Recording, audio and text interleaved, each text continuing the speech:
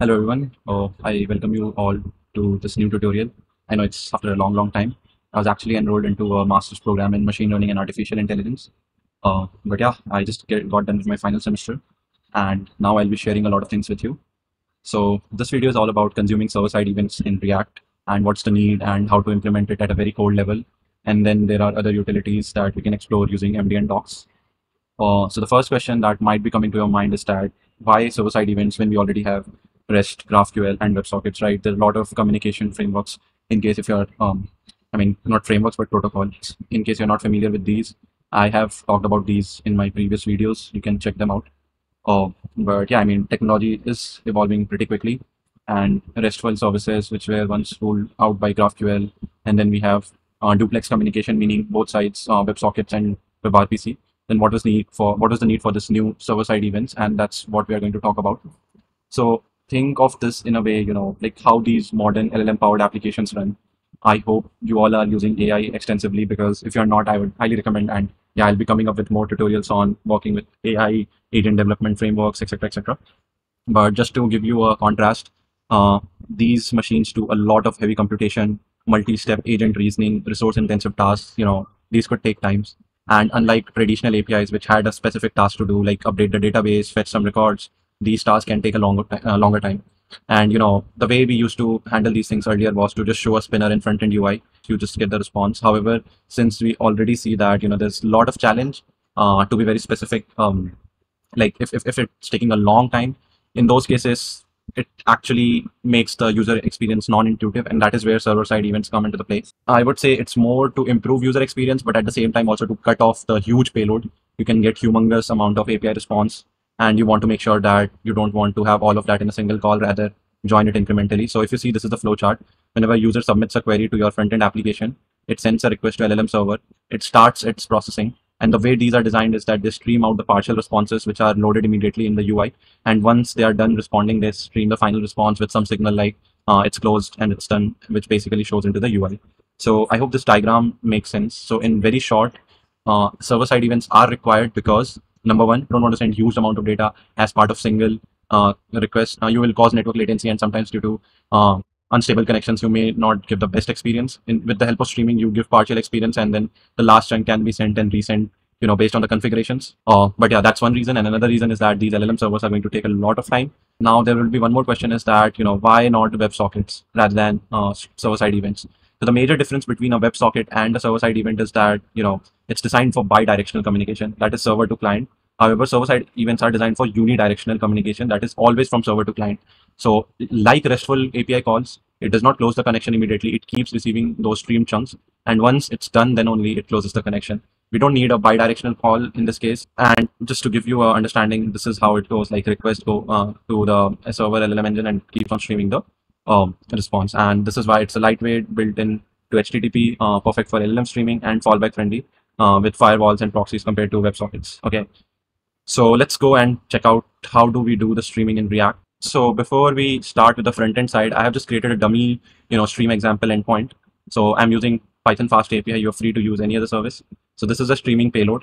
Currently, it's just like here, uh, there are five sets of message, but assume these to be, you know, very big messages.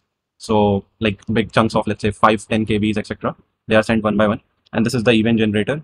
So if it is disconnected, we break it. Otherwise, we keep on yielding. I hope you're familiar with yield keyword. This is very important, um, you know, in understanding these cases.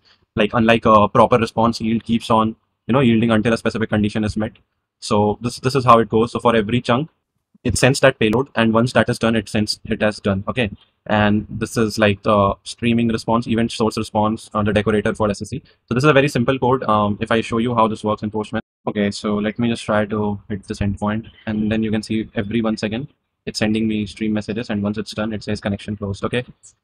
And if you see that's what we are doing. So we are just uh, sleeping for one second and uh, we are sending the stream data okay? So I hope you got an understanding of uh, how the streaming works based on the backend setup. Now let's see how we can implement this in React using very simple web API event source. Uh, note that this is a very simple example just to make you understand how it works. If you're familiar with WebSockets, uh, you can actually understand this very well, what's happening and everything. So I kept it simple for the sake of understanding, but you can make it even more complex, like based on the data that you are getting from the stream, you can perform different actions, etc., etc. Okay. So this is my message which I'm storing, and then this is my loading state, and this this is just a progress info because as the process goes, we want to make it more intuitive. Again, we can have more progress kind of thing, like how many chunks it's going to emit, etc., etc. Okay. Um, so what we do is we use this event source. Again, uh, this is an MDN uh, API. You can always look into the reference. It has much more than just creating a stream source. You have credentials and other details also. Uh, but here, just to keep things simple, and you set the loading to true, meaning that now streaming has begun.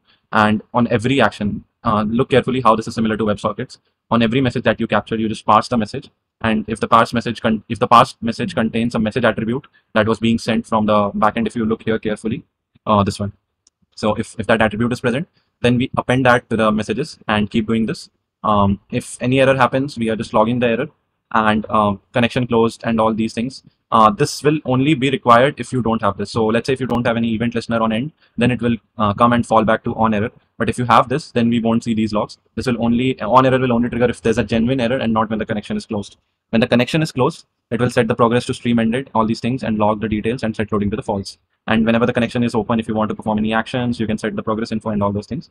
And here is our JSX. So just a H1. And then if it is not loading, then get the messages. If it is loading, the stream is already going on.